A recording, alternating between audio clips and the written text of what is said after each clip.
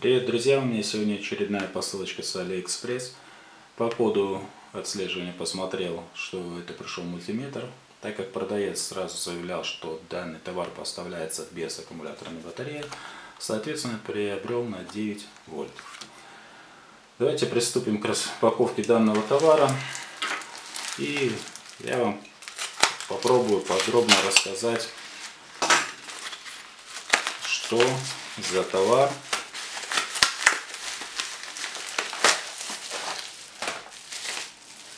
какие он имеет. Как мы видим, поставляется в такой вот упаковке. То есть не картон, ничего, чисто салофановая упаковка с пузырьками. Идет в комплекте инструкция. Инструкция, как я вижу, уже на английском языке. Соответственно, в комплекте входят щупы. Щупы обычно я знаю, что многие меняют, но я пока буду пользоваться ими, поэтому я о щупах вам сказать о качестве толком не могу.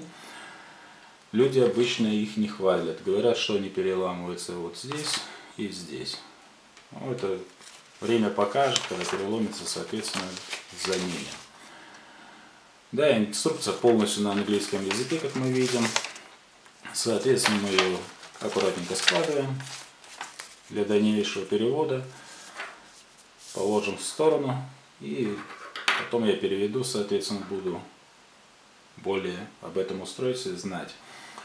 На данный момент, что я вам могу рассказать?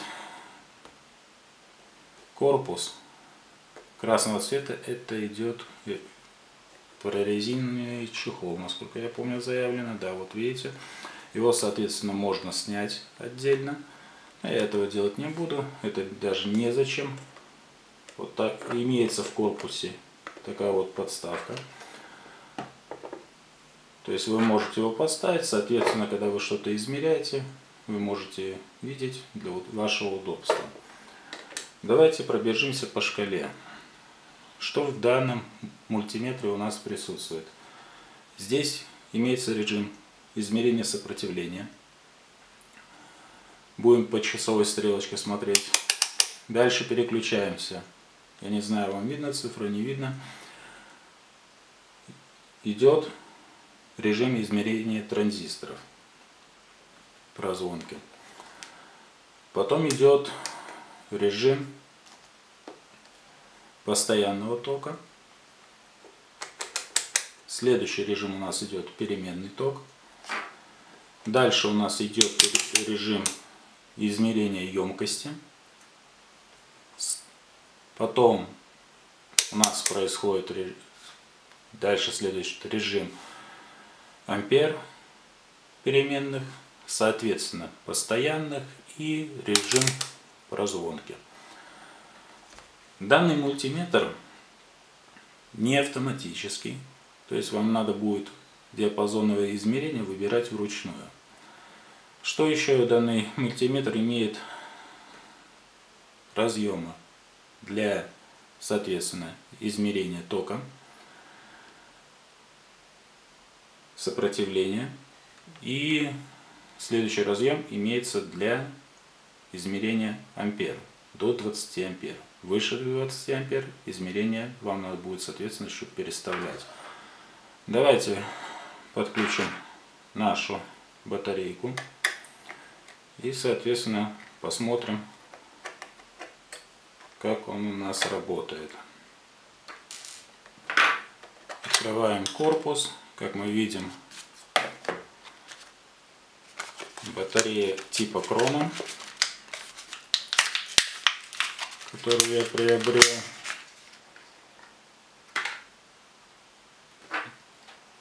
Сейчас мы ее подключим.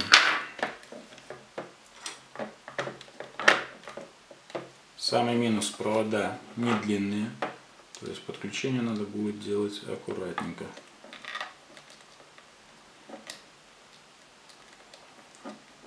Как это неудобно делать каждый раз. Что-то с камерой, но справляемся. Все, вот я подключил аккумулятор. Теперь его заправляю внутрь. Закручиваем.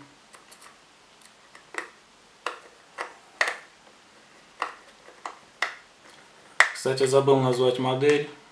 Цифры, наверное, все-таки на камере у меня плохо видно, так как у меня нету автофокуса. Снимаю на фотоаппарат Canon. На данной модели цифры следующие идут.